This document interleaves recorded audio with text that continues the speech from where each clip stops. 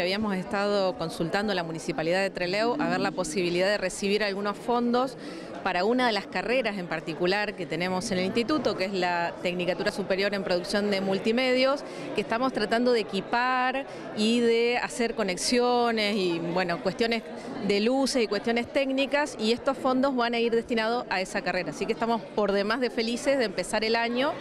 pudiendo destinar estos fondos a la mejora del equipamiento de esta carrera. El instituto funciona en Gales 270 por la noche, de 6 a 10 y media de la noche, en lo que es lo, que se conoce como la escuela 712, pero nosotros funcionamos por la noche, es el Instituto 812, contamos con cinco carreras,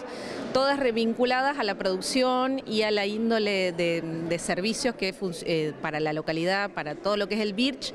y eh, particularmente entre Leu. Por ejemplo, la carrera de multimedios, calidad, logística, este, economía social, que es una de las carreras que se abrió en el día de hoy, y administración pública. Todas las carreras cuentan con una matrícula inicial de alrededor de 40 alumnos, así que este año tenemos una matrícula total de 300 alumnos y eh, podríamos decir que llenamos toda la escuela 712, eh, pero en el turno vespertino con 812. Con los años hemos incrementado el